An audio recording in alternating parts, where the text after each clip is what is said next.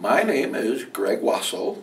My piece for this year, 2014 Sculpture Walk in Lafayette, is The Human Factor, and it is made out of steel.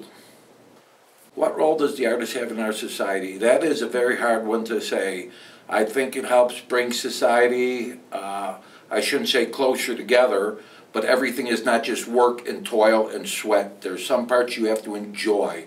Enjoy a candy bar, you can enjoy popcorn, you need to enjoy artwork. So artwork needs there to be there to be enjoyed.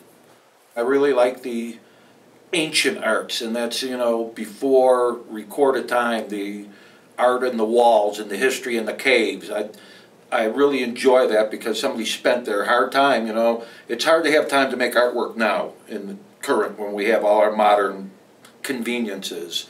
It must have really been hard back then. So I really enjoy looking at somebody else they did thousands of years ago and certainly not copying it, but being influenced by it and having it work into my artwork, into my, into my life.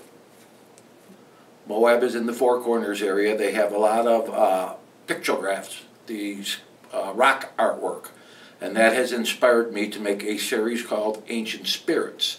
So I tell people, they ask me how I did it, I go, the rock art, I look at it, it speaks to me. So it doesn't say Greg.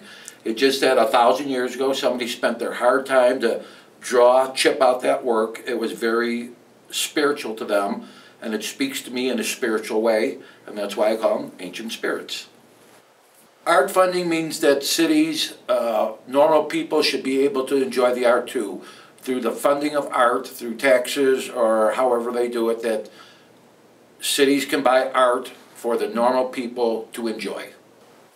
My goal as a professional artist is to make a living that I can live on, which is very hard to do. Um, and really, uh, as I'm getting older, my role as a professional artist is to leave something to society when I'm gone.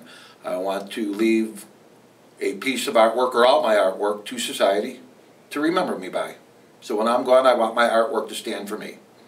I want everybody to enjoy my artwork. So I want young, old, black, white, religious, non-religious uh, people to enjoy my artwork and interact with it.